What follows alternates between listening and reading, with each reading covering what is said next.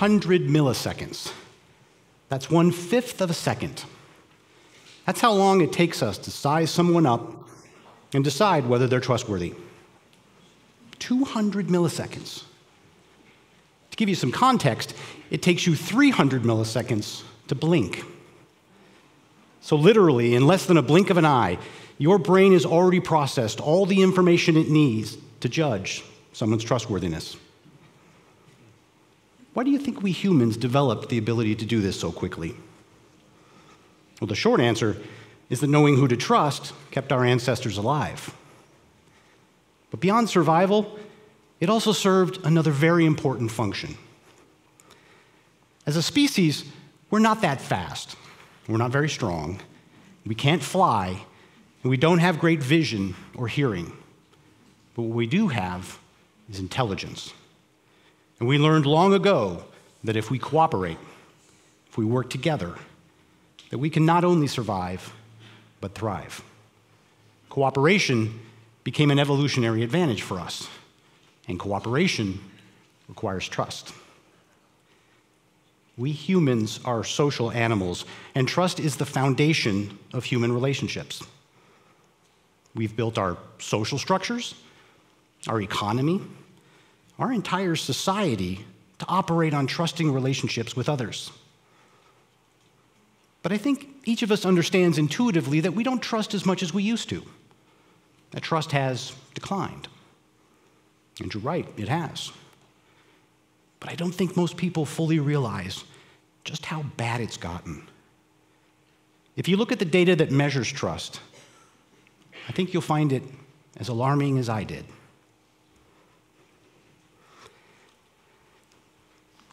A generation ago, 78% of us said that we trusted the federal government.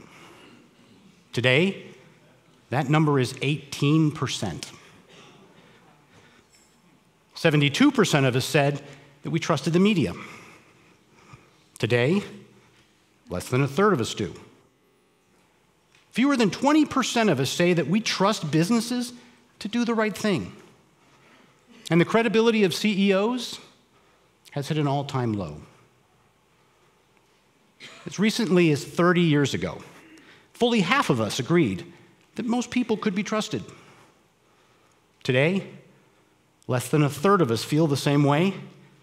And if you ask millennials, that number drops to 19%. And this is not just an American issue, this is a global phenomenon.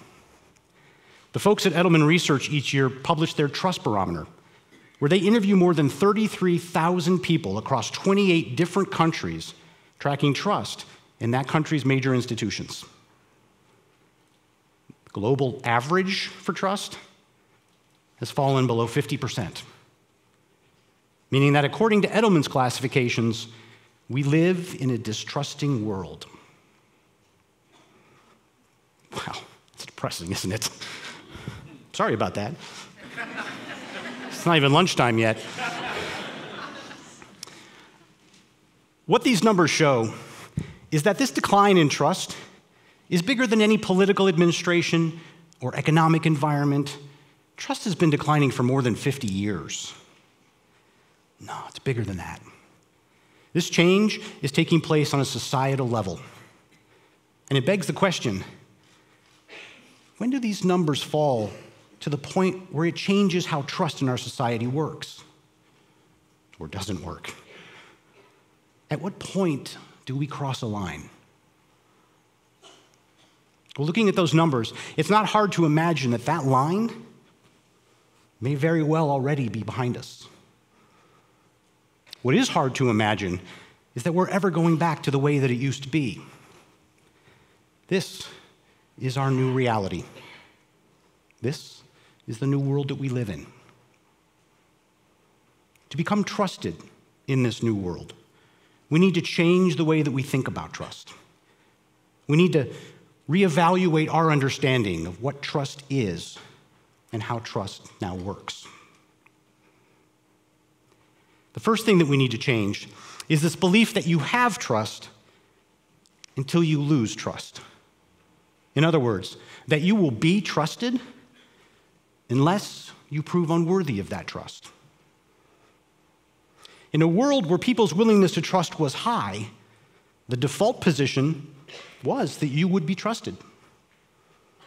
You didn't need to build trust, you just needed to preserve it because you began each relationship from a position of mutual trust. But that's not the case anymore. The default position is no longer that people will trust you. I think the data shows that you can no longer assume that. This idea that we're no longer getting the benefit of the doubt. It's a little disconcerting, isn't it? Feels a little like we're now guilty until proven innocent, right? But that's because we have a tendency to think of trust as an either or proposition, that you're either trusted or you're distrusted. But that's not the case because trust and distrust are not opposites. In fact, the pathways in our brain that we use for trust are different from the ones that we use for distrust.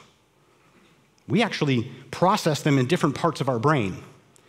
One is not merely the absence of the other. There's a third option, a space between trusted and distrusted. I call this space the trust trough. This is where doubt lives. And it lives along a continuum from uncertainty to skepticism to outright suspicion.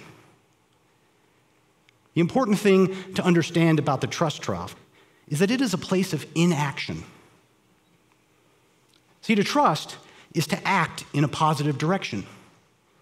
If I trust you, I'm willing to act towards you positively, to embrace your ideas, to support your causes, to buy your products. If I distrust you, I'm also willing to act towards you, but in a negative way. I will withhold my support. I may warn others about you. I may actively advocate against you. But in the trust trough, there is no action. If people don't trust, they don't act. Let me say that again. If people don't trust, they don't act. It was the Nobel laureate and author Elie Wiesel who said, The opposite of love is not hate, it's indifference. Because to hate, you still need to care. Well, similarly, the opposite of trust is not distrust, it's apathy, it's an unwillingness to act. The new default position for trust is now somewhere in the trust trough. You're not distrusted, but you're not necessarily trusted either. If you want to become trusted, if you want to get people to act, if you want to get them out of the trust trough, you now need to first prove to them that you are worthy of their trust. It's no longer about preserving trust. Nowadays, you need to actively build trust. So, how do you do that? Well, to understand how to build trust, you first need to understand what trust is. See, we have a tendency to think of trust as a single thing. It's not. It's actually a pretty complex combination of judgments and assessments that we make about someone.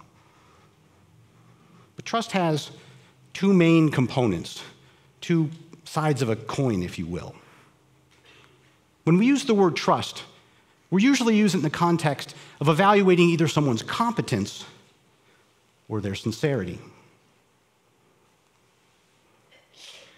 By competence, we mean are you capable? Do I believe that you can do what you claim? And are you dependable? Do you have a history of fulfilling commitments? Sincerity means are you honest? Do I believe that you will be truthful with me? And are you fair? Do I believe that you will act in good faith and consider my needs in addition to your own? Another way to think about this is that competence judges someone's actions, while sincerity judges their intentions. So let me ask you this which side is more important? I'll ask it in a slightly different way. Who would you rather deal with? Someone who is honest but incompetent? Or someone who is competent but dishonest? Here's something else to consider. I think it's safe to say that as a society that we've become more competent over time. Would you agree? That cell phone in your pocket is a heck of a lot more capable and dependable than the one you had even 5 years ago. But if it's true that we've become more competent over time, and if competence were more important, then shouldn't trust be increasing? Shouldn't the lines on all those charts be going upwards? But they're not. And this leads me to the conclusion that what's responsible for the dramatic decline in people's willingness to trust has more to do with a lapse of sincerity than a lapse of competence. Make no mistake, both are important. But you build stronger levels of trust through sincerity than you do through competence. And people are far more willing to forgive a lapse of competence than they are a lapse of sincerity. If you want to become trusted in this new world, you need to prove that you are both competent in your actions, but also, more importantly, that you are sincere, that you are honest and fair in your intentions. Becoming trusted is harder than it's ever been. But in a world where people's willingness to trust continues to decline, it's also never been more important than it is right now. You can have the best products, the best service, the best prices. But none of that matters if people don't trust you. 200 milliseconds. That's how important trust is. Thank you very much.